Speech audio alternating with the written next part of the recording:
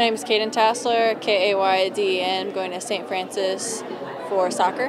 Why St. Francis? What was the big thing there? Um, it was just really close to home, and I liked the feel of the um, campus.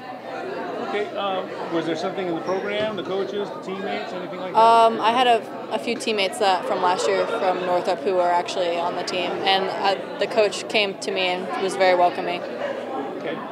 As, and St. Francis has, has had some success, and I know you want to continue on that, but uh, have they told you that you'll play the position you've been playing, or do they want to? Um, yeah, I'll be playing keeper, but there's another.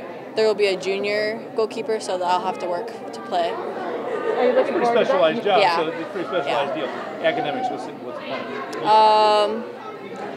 Um, I'm gonna try for either athletic training or sports psychology. I haven't made my mind up yet, but what got you interested in that? Um, I always liked helping people, so that's where the psychology part came in. And then I've been like had minor injuries that haven't taken me out of a game, but have definitely like done some damage. So knowing how to do that stuff would um, really is interesting to me. What, were the options you had besides St. Francis to go? Um, that was really the only place that came to me, but otherwise I was going to go to IPFW.